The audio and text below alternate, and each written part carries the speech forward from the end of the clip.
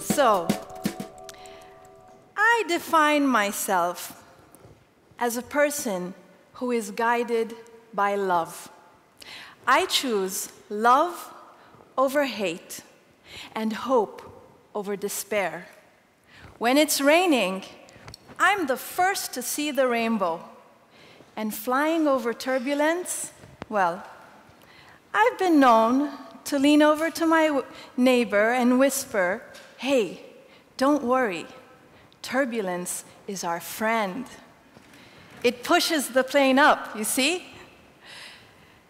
And while bombs were being dropped on Lebanon, I was blogging about life and not death. But I'm getting tired, I have to tell you. I've been trying so hard not to become that Arab woman the media loves to portray on television. You know the one, you've seen her before. She's on her knees, screaming up to God because someone she loves has just been killed. In over four decades, the news coming out of the Middle East hasn't really changed much.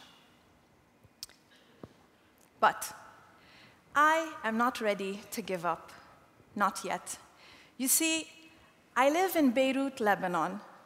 Life there is so uncertain that we tend to live each day as if there were no tomorrow.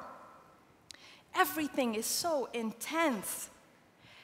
We work like there's no tomorrow. We drive, we argue, we drink and dance and even make love as if it were our last day on earth. Beirut is a complex and beautiful city. When you're constantly courting death, you learn how to appreciate life. You learn how to improvise dinners over candlelight, well, because the electricity has just been cut off again. You grow jasmine and gardenias to cover up the bullet holes on your buildings. In his village in the mountains, my grandfather planted trees everywhere a bomb exploded. So we've become naturally creative because no day is ever like the previous one. But on the downside, uh, we've become very immune to even the possibility of stability, that we've stopped planning for the future. And that scares me. Well, how can you? When all you hear are politicians going on, going on about things like transitional governments, sanctions, violation, condemnation, escalation, invasions, incursions, and even preemptive military strikes. They basically condemn our future before we've even had a chance to create a different one and possibly prove them wrong. Since when did bombs lead to peace and stability? Since when?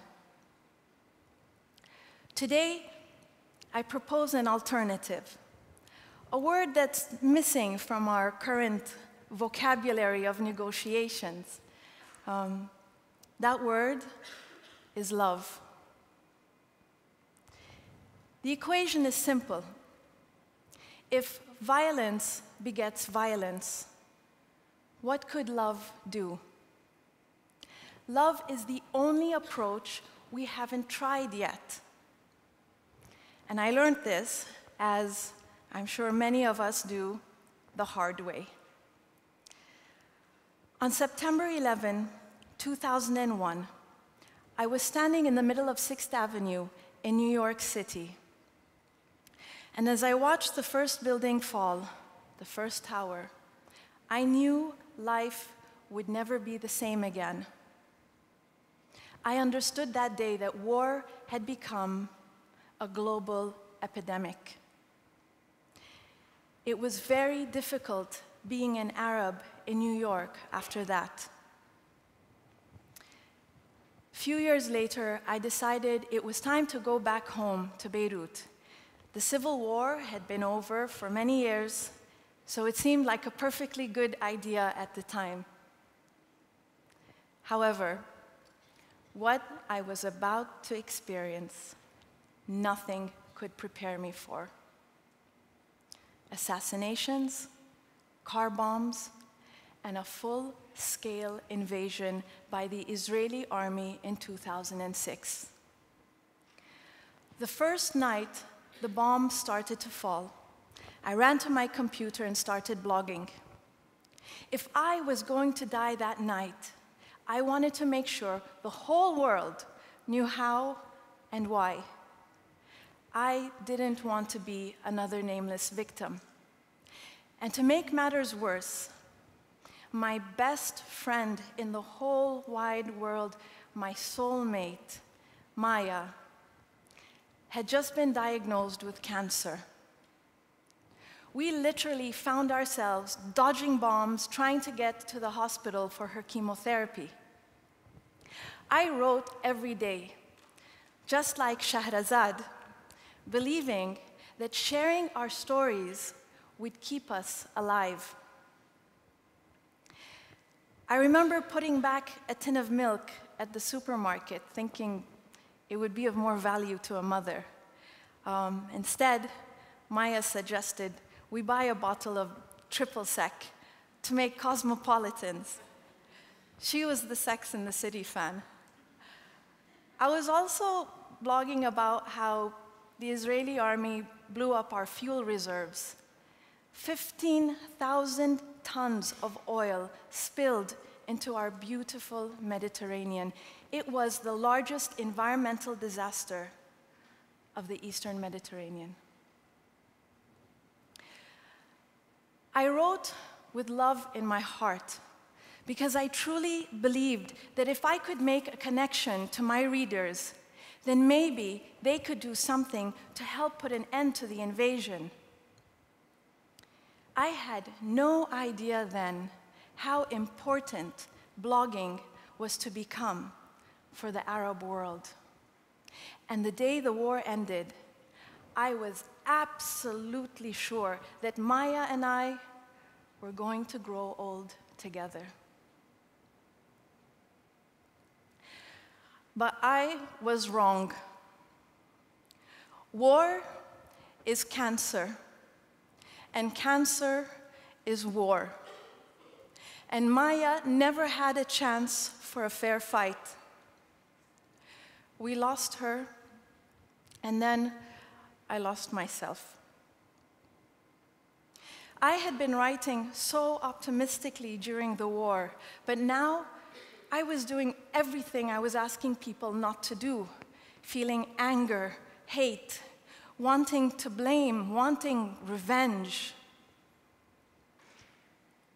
I became that woman on television. When does the media decide that they've had enough of the topic? When we start burying our dead, that's when. No one ever wants to know how many of us really died. Maya and I had been big fans of the movie Airplane, you know, the Hollywood comedy. We knew every line and every scene by heart, and running around the streets of Beirut, we'd shout out to each other, Hey, surely you must be joking. I'm not, and stop calling me Shirley. We never really quite fit in, but we had each other, and that was all that mattered. That was absolutely all that mattered.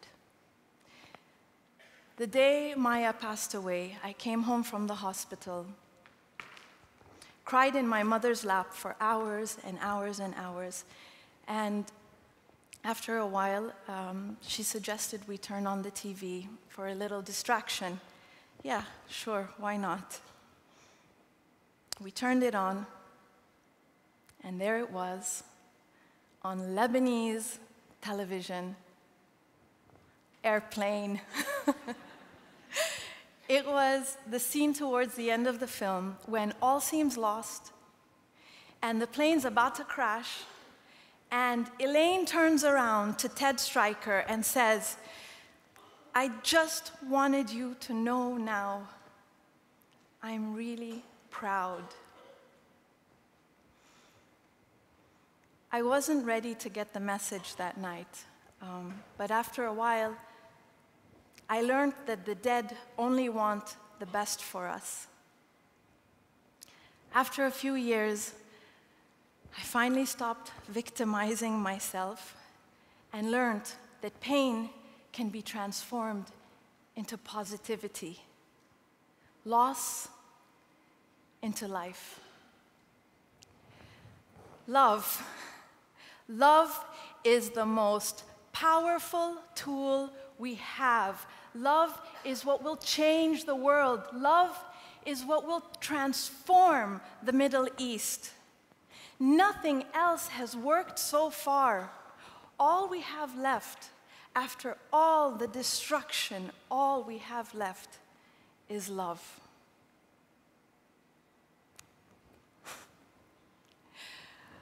so, I have to tell you, it's really the only way that walls will fall and bombs and bullets will cease to exist.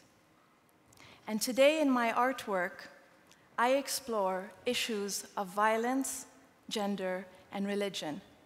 For example, um, this is a giant disco ball I've built. It's four meters by four meters, and it says the word Allah, God. Music accompanies this, and it invites you to dance rather than kill under the light of God. Disco, of course, is preferable. I've only shown this piece in Europe and once even inside a church in Italy, but my dream is to take it home. What if what if we could take it to Jerusalem? Um, another project. Uh, this is a dress I wear every year and uh, run around the streets of Beirut in. I call her the Pink Bride of Peace. I've passed out flowers to hundreds of people and run across cities all throughout Lebanon, all in the name of love. What if we were all pink brides of peace? what if we stormed our government buildings demanding they write love into our constitutions? Wouldn't it be cool if tolerance and reconciliation were classes, mandatory classes we took in high school. So, when you look at my artwork today, it's very easy to assume certain things when you see all the glitter and beads. But I found that in order to write or paint about violence, I've had to create my own language, uh, one that plays with humor and irony. I basically take an object of violence and transform it into a celebration of life through pink, creating something beautiful. I want my work to be accessible because peace should be completely accessible.